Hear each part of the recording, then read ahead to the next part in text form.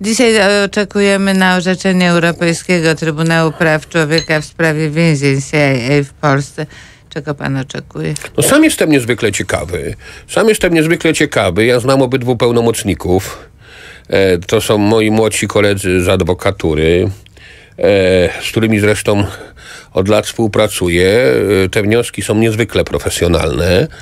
Także sam jestem, sam jestem e, e, ciekawy, bo ta sprawa oczywiście ma E, mnóstwo takich wątków o charakterze zarówno praw człowieka, jak i e, kwestii współpracy międzynarodowej oraz e, działalności e, naruszającej prawa człowieka, być A może... A jeżeli okaże się, że naruszyliśmy i to za zgodą najwyższych władz?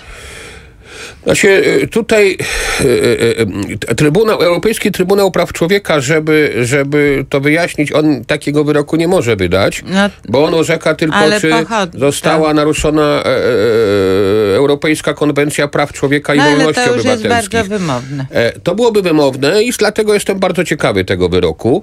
Natomiast ja dlaczego o tym mówię, bo jak pani tutaj, nie przesądzając niczego, bo oczywiście ani pani, ani ja wiedzy nie mamy, to jest wszystko tajne, ale to jest ciekawe, w jaki sposób odniosłaby się, odniesie się Trybunał do e, naruszeń praw człowieka, ewentualnych, przez funkcjonariuszy obcego państwa na terytorium państwa członka Rady Europy.